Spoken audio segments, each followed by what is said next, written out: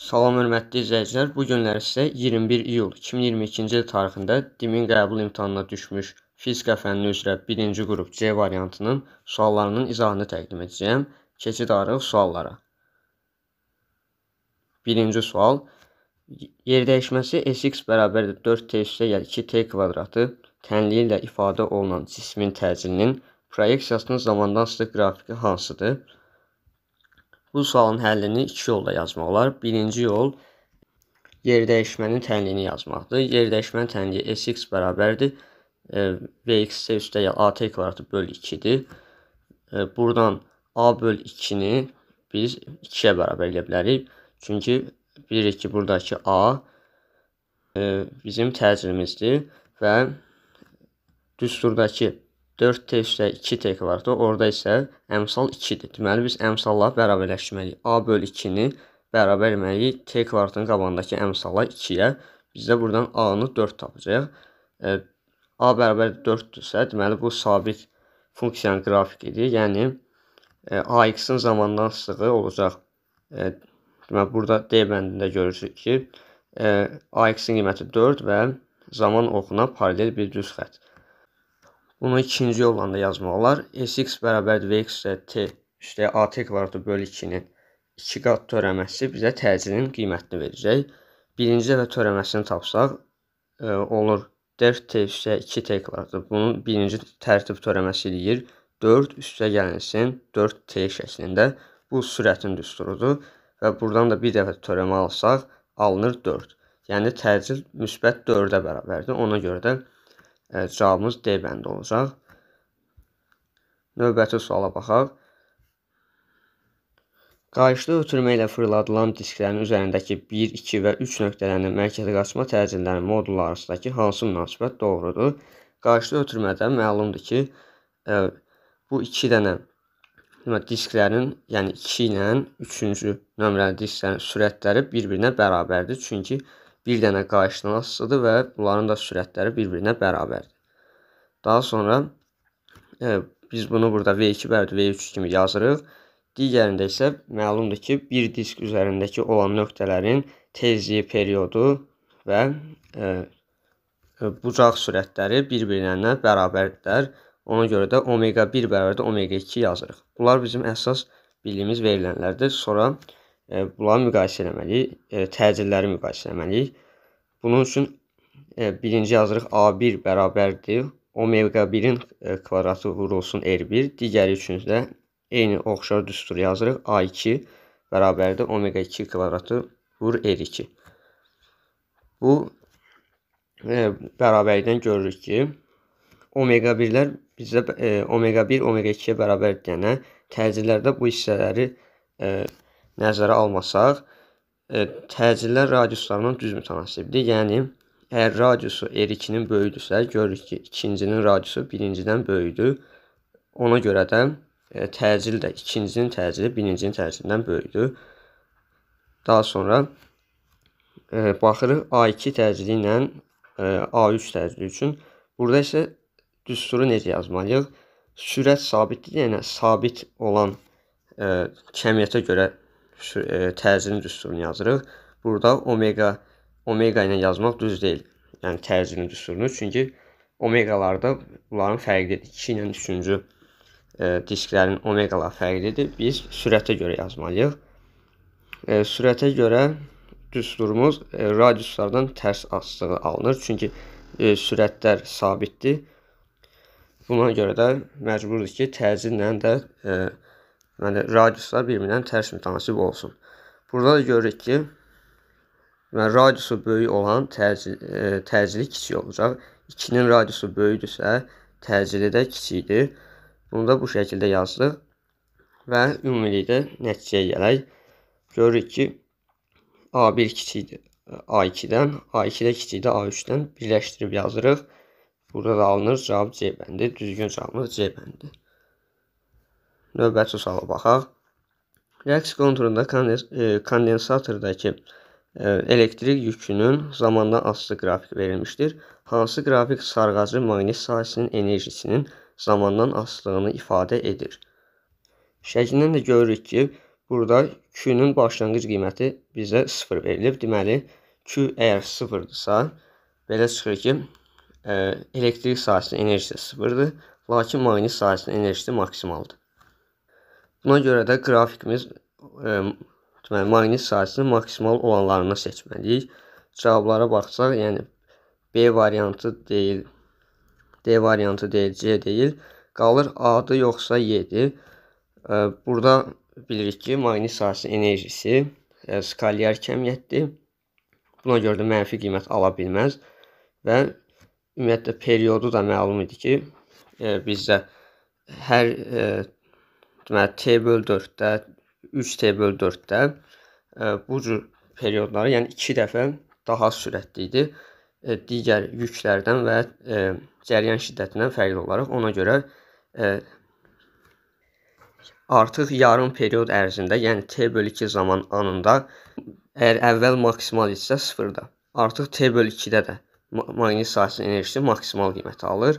Lakin cəryan şiddəti artıq mənfiyə gedib düşür.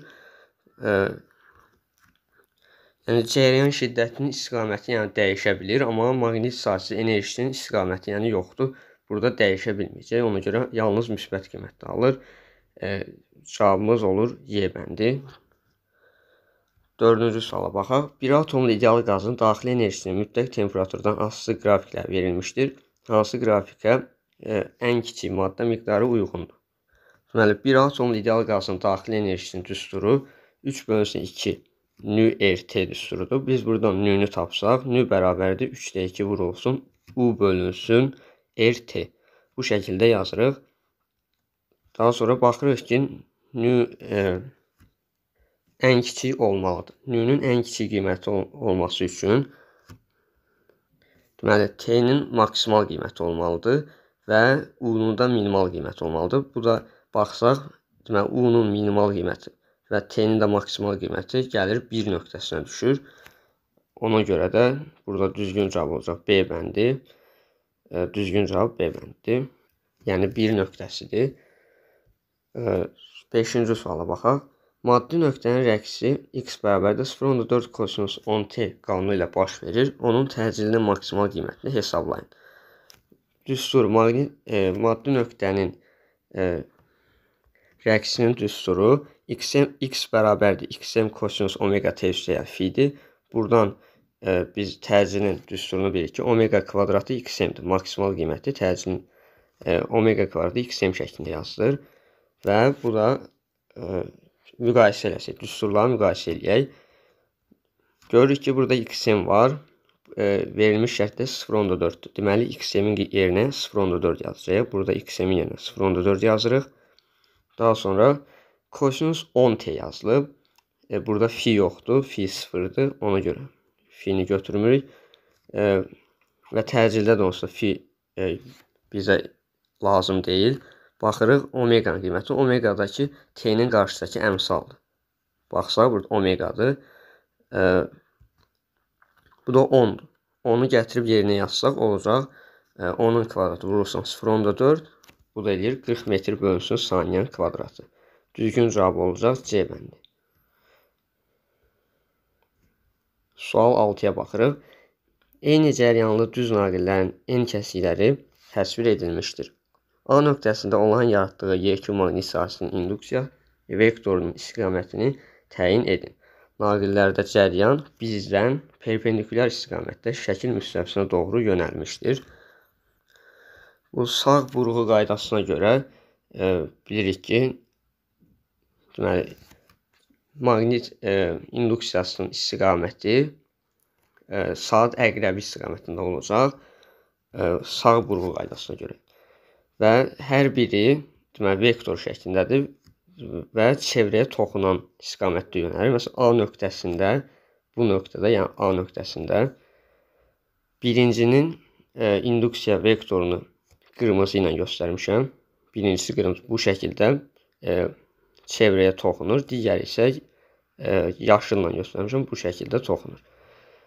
Daha sonra bilirik ki, e, bunların yəni maqnit e, induksiyası vektorial kəmiyyətdir və vek e, vektorial olduğuna görə e, bunların vektor cəmini tapmaq mümkündür və son nəticə olaraq da həmin cəmin həm modulca, həm də istiqamətcə yekun induksiya kimi biz onu götürürük. Burada da e, biz ya üçbucaq və yaxud da ki, parallelogram qaydasına görə vektorların toplanmasını bilirik ki, əgər iki vektor bir nöqtədən e, çıxırsa bu şəkildə və onların e, yaratdığı demək, induksiyanın istiqaməti paralleloqramın diaqonalı olur. Yəni biz belə bir paralleloqram götürsək, görürük ki, həqiqətən də ortasının e, diaqonalını çəkilir və yaxud da ki, üçbucaq qaydasına görə birini köçürə bilərik. Məsələn, bu qırmızını, bu aşağıdakını paralel olaraq e, yuxarı köçürürük və e, iki vektorun e, toplanmasını yazsaq görəcək ki, birinci ilə e, birinci burada başlayır, burada bitir, digəri e, burada başlayır, digərində bitir. Yəni qara ilə işarə etdiyim yekun bir vektor alınacaq. Deməli, burada düzgün cavabımız olacaq C bəndi. C bəndi olacaq. Növbəti suala baxırıq. Atom nüvəsini sərbəst nukleonlara parçalamaq üçün lazım olan minimum enerji necə adlanır? Deməli, bu rabitə enerjisidir. Yəni nüvənin rabitə enerjisi nədir? Nüvəni sərbəst nukleonlara ayırmaq üçün lazım olan minimum enerjidir. Və bunda düsturu biz e, bilirik ki, Y rabitə bərabərdir delta Y. O da bərabərdir Einstein düsturu, yəni e, var delta M S kvadratı buna bərabərdir. Təbii ki, digər variantlar deyil. Çünki e, məsələn ionlaşma enerjisi var. E, bu atomun e, atomda məsələn elektronu qoparmaqdır. Bu enerji ayrı enerjidir. Sonra neytronların sükunət enerjisidir. Bunlar ə, sonra var ə, nüvənin sükunət enerjisi, protonların sükunət enerjisi. Bunlar deyil. Yəni nüvədən hər hansı bir protondur ya elektrondur, nukleon ikisi də sayılır. Bunu e, ayırmaq üçün lazım olan enerjidir. Ona görə cavabımız olacaq C bəndi. 8-ci suala baxırıq.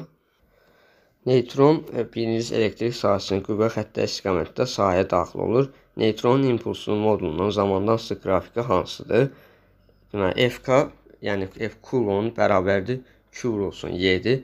Burada da bilirik ki, Q zərrəcinin yükü Y isə elektrik sahəsinin intensivliyidir.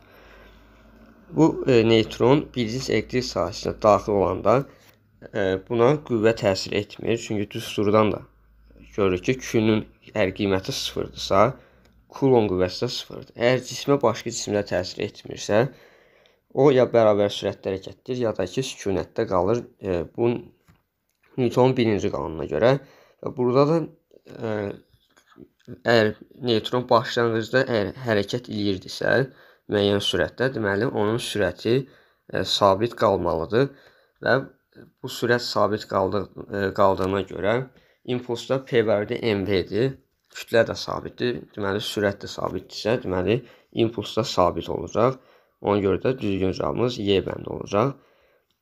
Yəni zamandan asılı olmayan bir P-nin qiyməti ə, e, olacaq.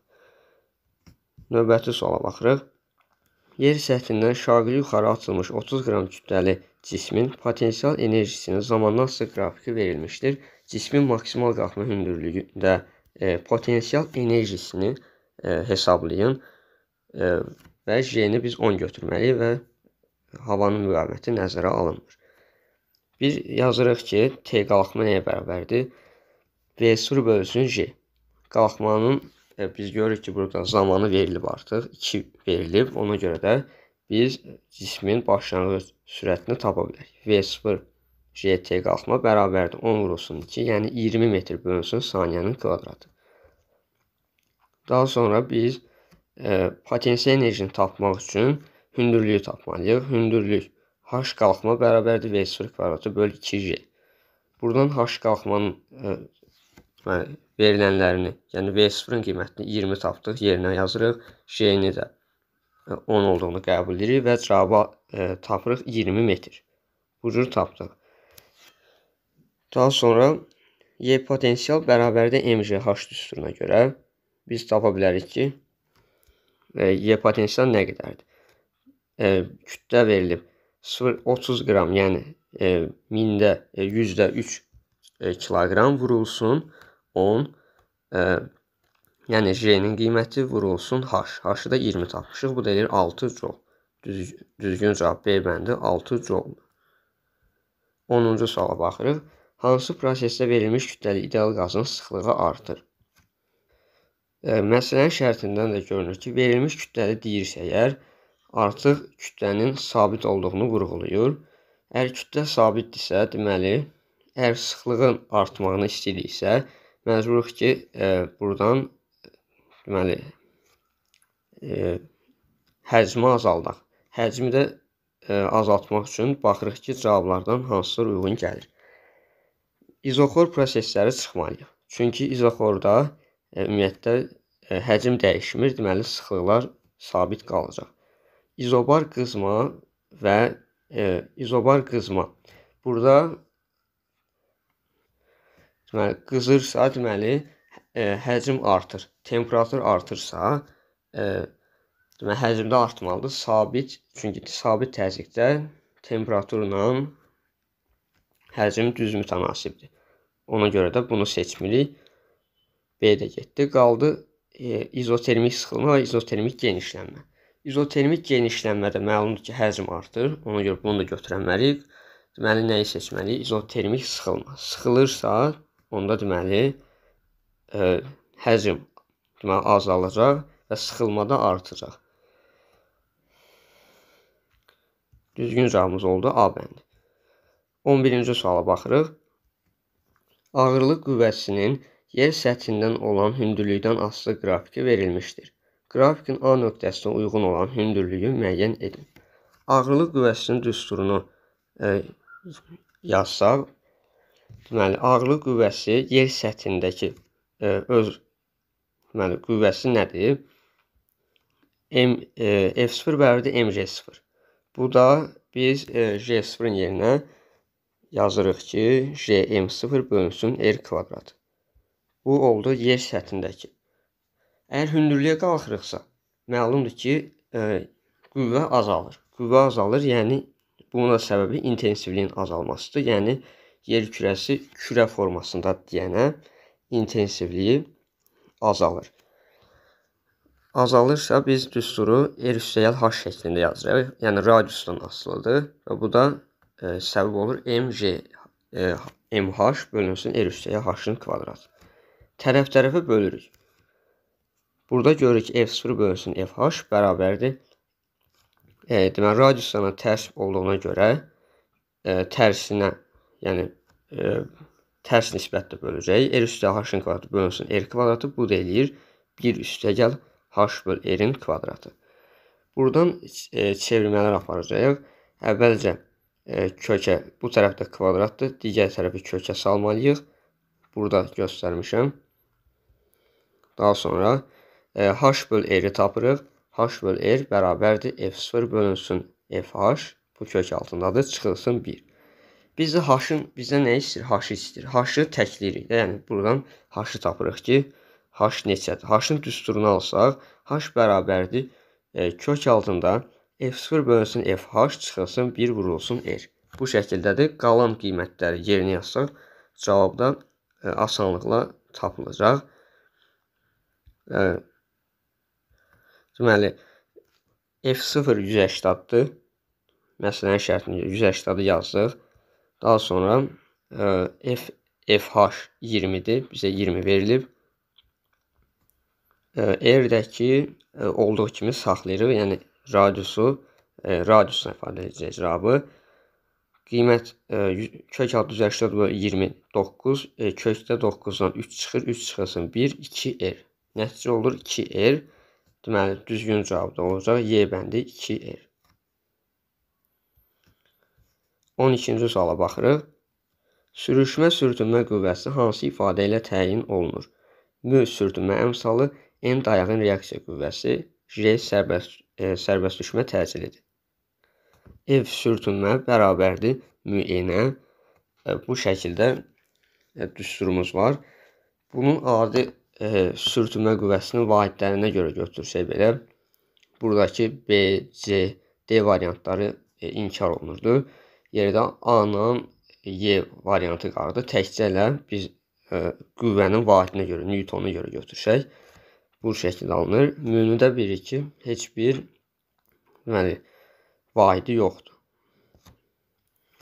Burada da həmişə sürtünmə qüvvəsi, yəni sürüşmə sürtünmə qüvvəsi dayağın reaksiya qüvvəsinə asılıdır. Hətta mail e, müstəvidə də e, şəkildə görsək ki, müəyyəndir. Burada müəyyən yenə sürüşmə sürtünmə qüvvəsidir və burada dayağın reaksiya qüvvəsi n-dir. Yəni burada mg qüvvəsi e, iki dənə toplanına ayrı qüvvəsi. Biri mg sinusdur, biri digərisi mg kosinusdur. Bunun da əksi dayağın reaksiya qüvvəsinə bərabərdir ədədi qiymətcə. Və onun da müyyə hasili bizə dayağın, e, demək, onun da müyyə hasili müəyyən bizə sürtünmə qüvvəsini, sürüşmə sürtünmə qüvvəsini verəcək. Deməli, düzgün cavabımız Y bəndidir. Növbəti suala baxırıq. Cismin həcmini hesablamaq üçün bilmək kifayətdir. E, həcmin düsturu M bəra e, V bərabərdir M bölünsün rho.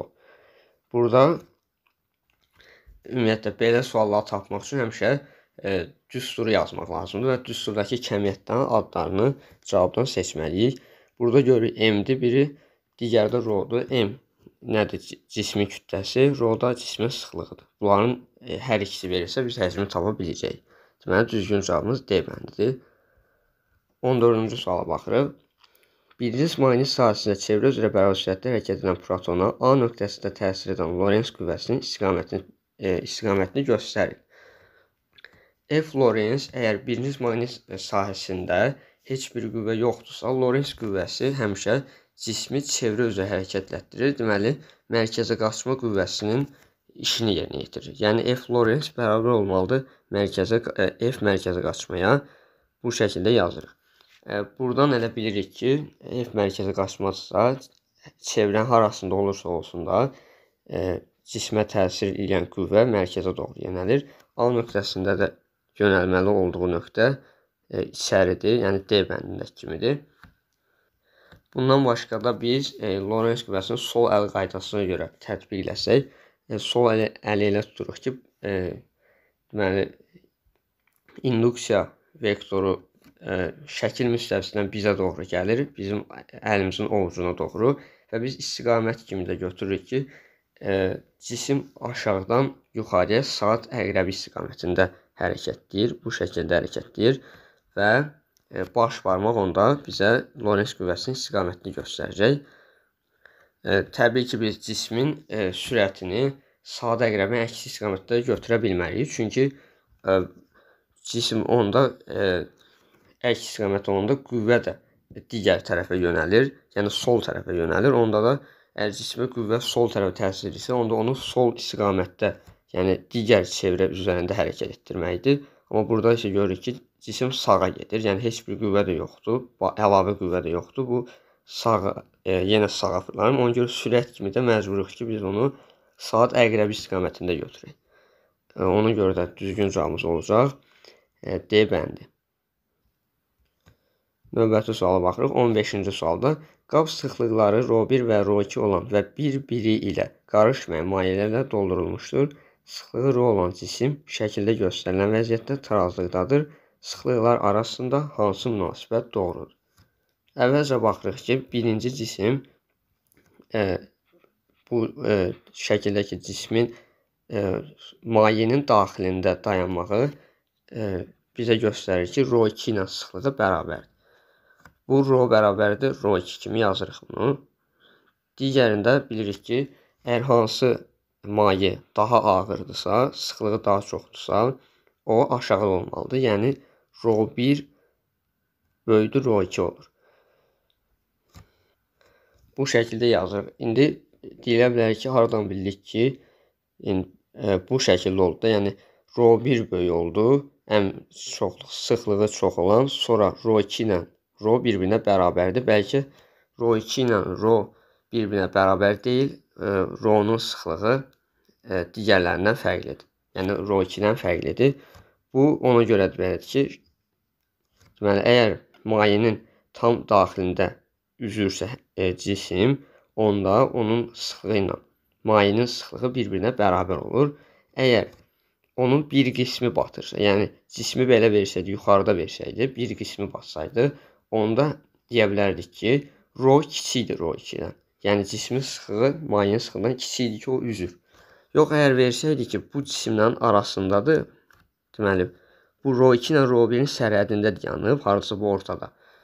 Onda deyə bilərdik ki, rho 2-dən böyükdür sıxlığı, amma rho 1-dən kiçikdir. Çünki rho 1-in səthində görürük ki, üzür. Yəni rho 1 aşağıdakının səthində cisim üzür, digərində isə rho 2-də isə cisim batıb. Belə yanaşsaq, onda görəcək ki, cismin sıxlığı bu iki cis e, mayenin sıxlığı arasındadır. Başqa bir variant da var. Cisim tam dibə enib batıb. Bunda isə deyəcək ki, ən sıxlığı az olan rho 2-dir, mayedir. Daha sonra rho 1-dir. Daha sonra isə cismin sıxlığıdır. Çünki tam e, bu cisim suya batıbsa, deməli, ə, yəni mayeyə batıbsa, bu rho1 ə, sıxlıqlı maye, mayenin sıxlığı daha böyükdür. Yəni daha doğrusu cismin sıxlığı bu mayələrin sıxlığından daha böyükdür ki, cisim tam batıb. Deməli, bütün variantları burada dedik.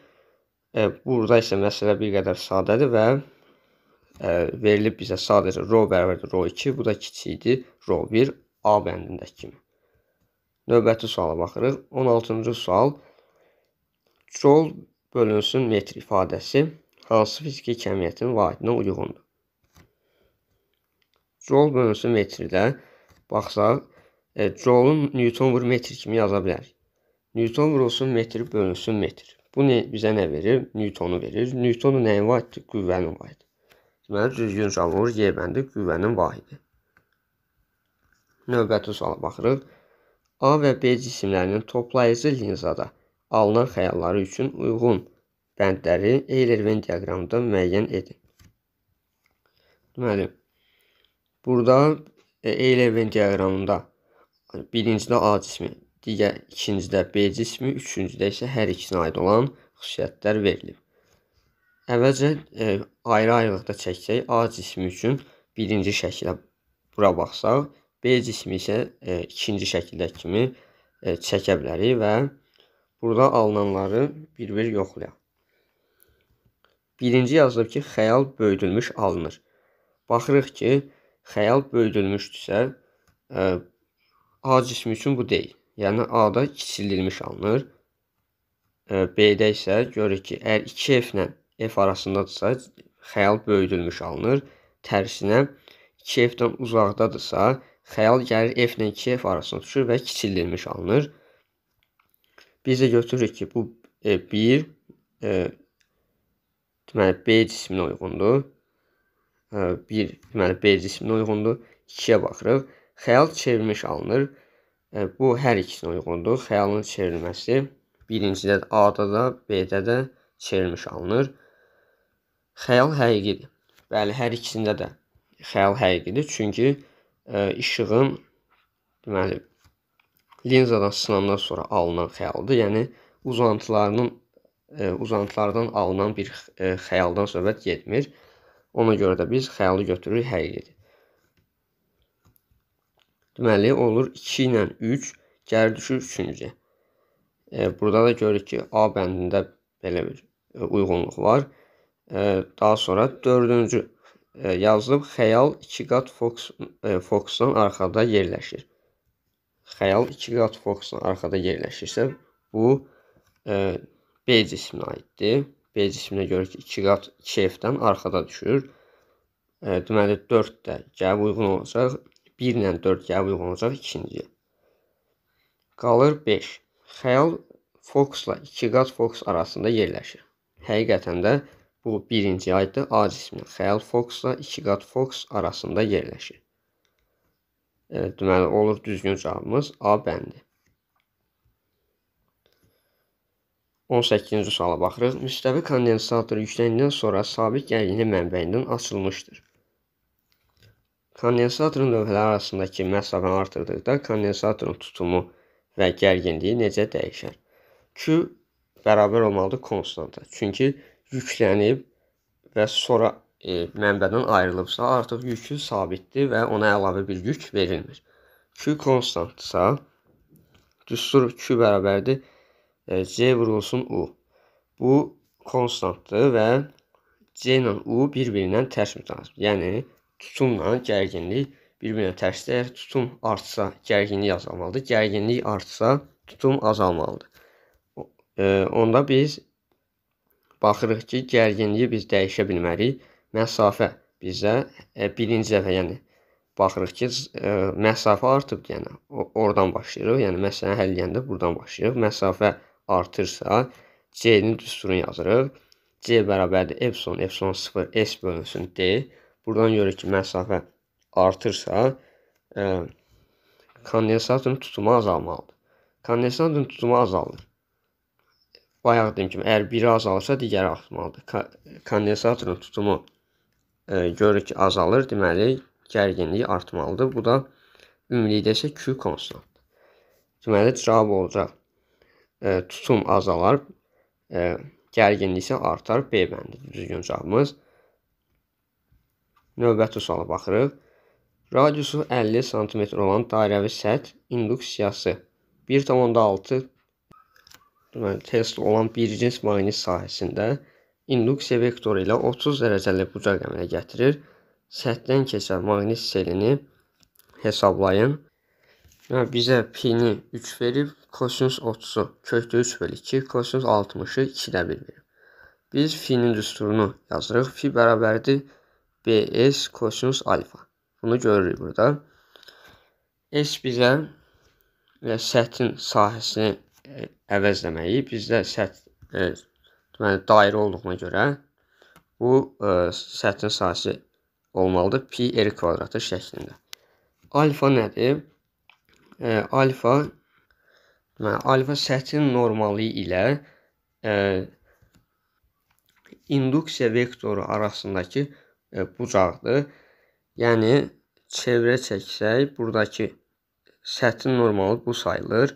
Yəni çevrənin düz mərkəzindən keçir və dik e, yuxarıya doğru gedir. E, Tutaq ki, maqnit induksiyası isə e, buradan sağa doğru belə e, istiqamətdədir və radiusu çəksək burada. Bu aradakı bucağa baxsaq, bu bizə bu aşağıdakı bucaq verilib. Yəni alt beta 30 dərəcə bu aşağıdakı bucaqdır. Bizə isə bu iki vektor arasındakı bucaq lazımdır. Və bu iki vektor arasındakı bucaq. Bu da 90-dan çıxmalıyıq 30-u. 90-dan 30 çıxmalıyıq və bu da bizə alfanı verəcək. Ümumi düsturu yazsaq, fi bərabərdir B-ni olduğu kimi saxlayırıq. Pi kvadratı, S-in yerinə pi kvadrat yazırıq. Kosinusu da 90 çıx beta yazırıq. Yəni betanı birbaşa kosinus beta yazmırıq. 90 çıxılsın beta. Bu da B-nin yerinə 1.6 yazırıq. Pi 3-dür. Radius Deməli 50 sm 0.5-dir bunun kvadratı vurulsun. Kosinus burada olacaq e, 60 dərəcə. Çünki 90 çıx 30 60 deyir. Kosinus 60 da 2-də 1-dir. Yazırıq 2-də 1. Cavab da alınır 0.6 V1. Deməli düzgün cavabımız olur A bəndi 0.6 V1. Növbəti suala baxırıq. Doyan su buxarının təzyiqinin həcmdən asılı qrafiki verilmişdir. AB keçidi zamanı doyan su buxarının mütləq temperaturu T və kütləsi M necə dəyişər? Deməli, sabit temperaturda ə, e, doymuş su buxarının, yəni doymuş buxarın təzyiqi, sıxlığı və konsentrasiyası həcmdən asılı deyil. Və burada da görürük ki, həcmdən asılı deyil, şəkil ə, qrafikdə görürük ki, həcmin asılı olmadan e, təzyiq həmişə sabitdir. Deməli bu e, buradakı temperatur mütləq sabit olmalıdır ki, həcmdən asılı olmadan e, təzyiq həmişə sabit olsun. Deməli biz cavablarda T-ni, yəni temperaturu biz sabit götürməliyik, yəni dəyişməz cavablarını seçməliyik. Burada A ilə B variantlarını inkar edirik. Daha sonra kütlə, kütlə də ki artır artmalıdır. Nəyə görə? Çünki sıxlıq biz dedik ki, təzyiq dəyişmir və sıxlıq dəyişmir. Sıxlıq dəyişmirsə, belə çıxır ki, həcm də artır. Həcm artırsa sıxlığı biz sabit saxlamaq üçün məcburuq ki, kütləni də artıraq və bu nisbət sabit qalsın. Yəni sıxlıq sabit qalsın. Ona görə də cavabı seçirik, kütləni artar. Cavab olacaq da Y bəndi. Deməli, temperatur dəyişməyəcək, ə, kütlə isə artacaq. 21-ci suala baxırıq. İşıq bir mühitdən başqa mühitə keçərkən dalğa uzunluğu 3 dəfə azalırsa tezliyi necə dəyişər?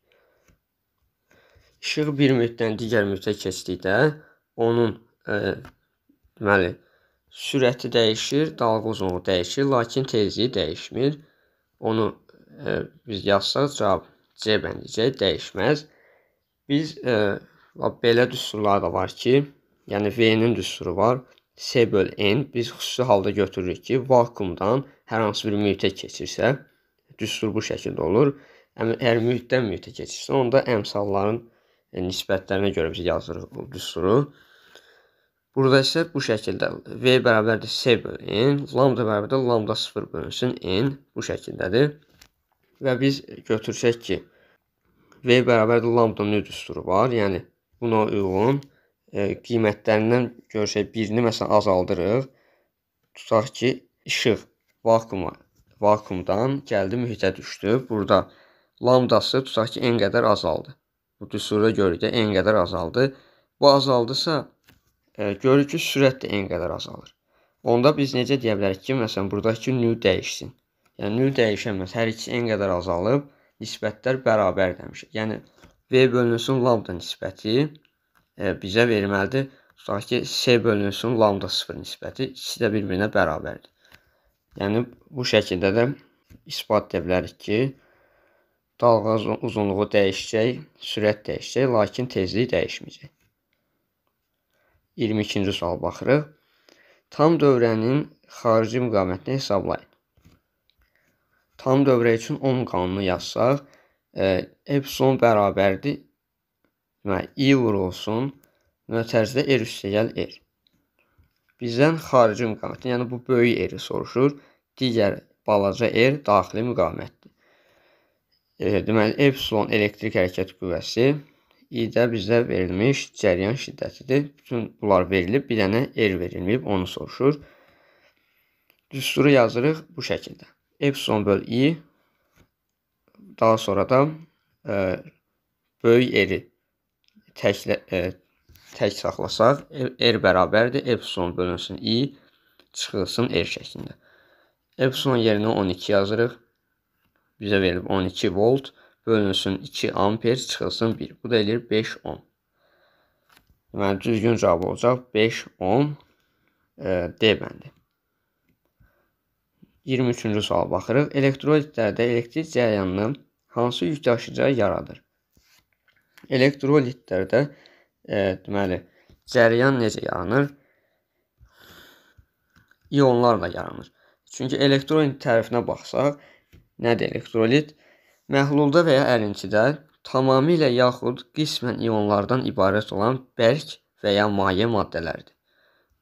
Bu tərifə görə görürük ki, burada mütləq ion olmalıdır.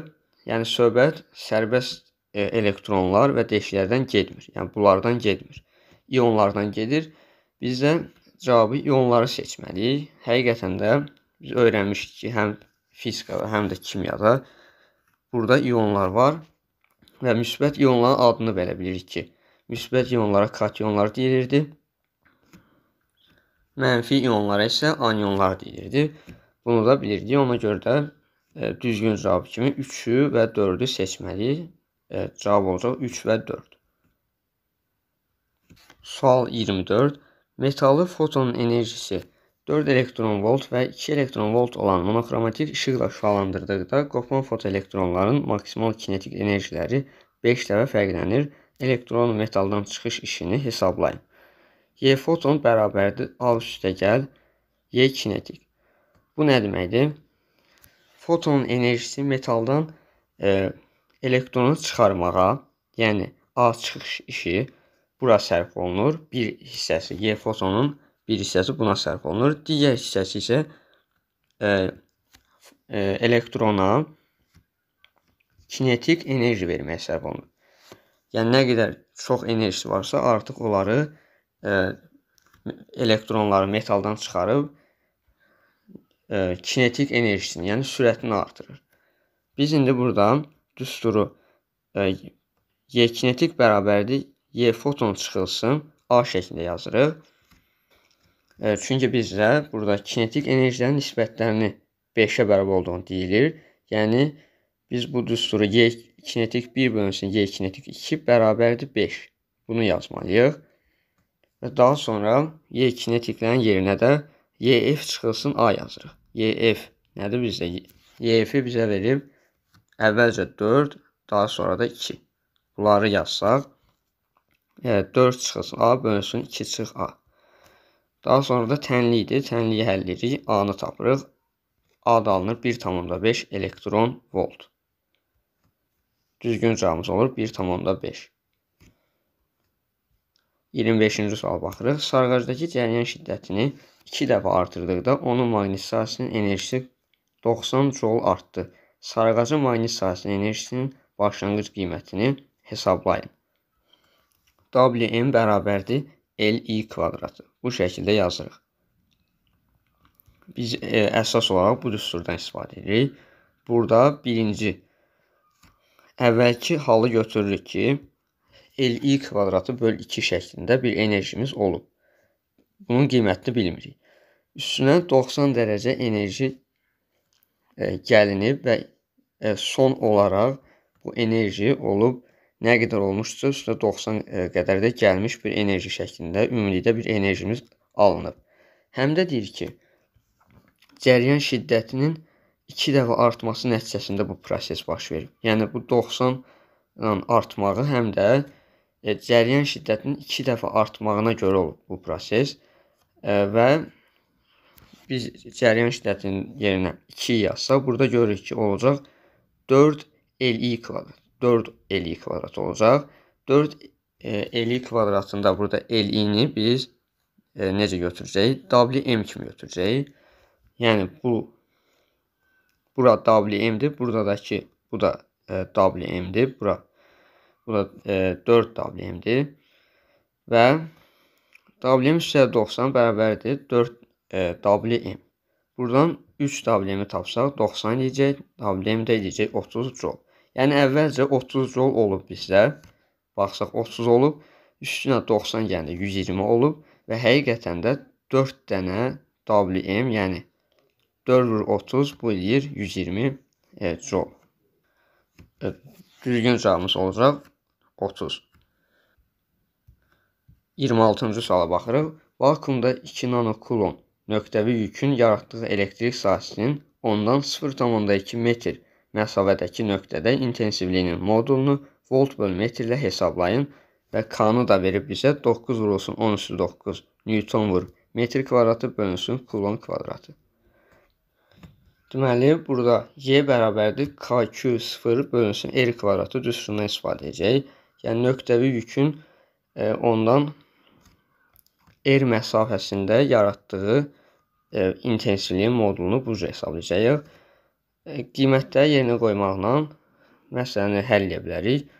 Hazır K-nın qiyməti var.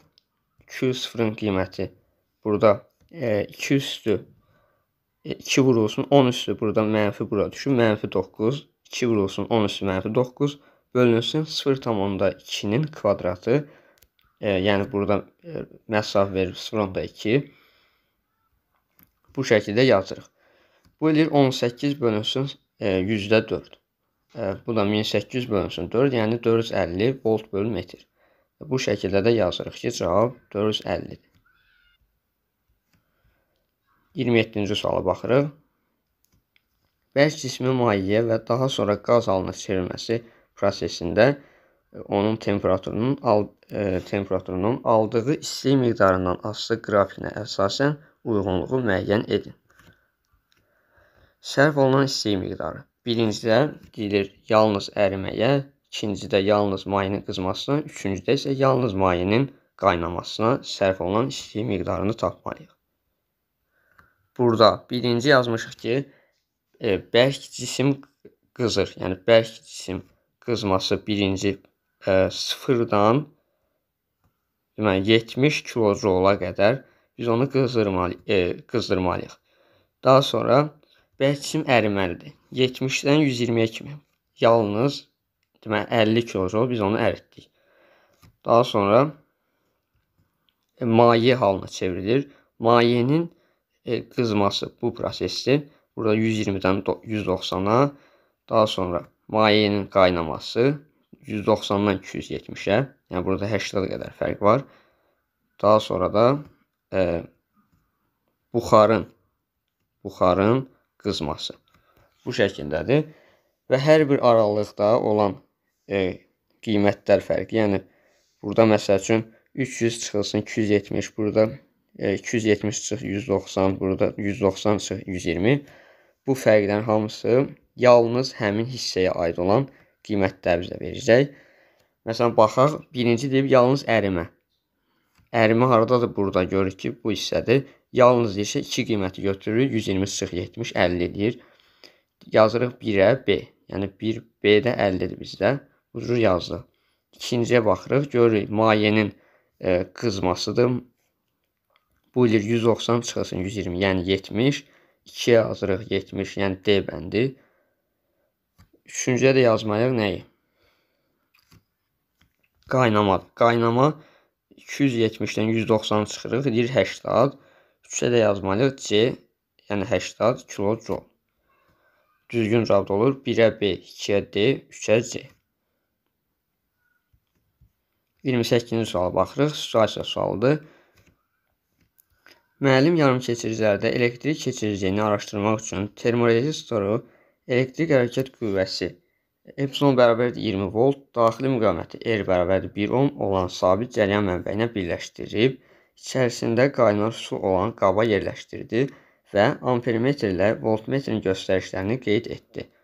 Su soyuduqdan sonra isə ampermetrin və voltmetrin göstərişlərinin dəyişdiyini şagirdlərə göstərdi.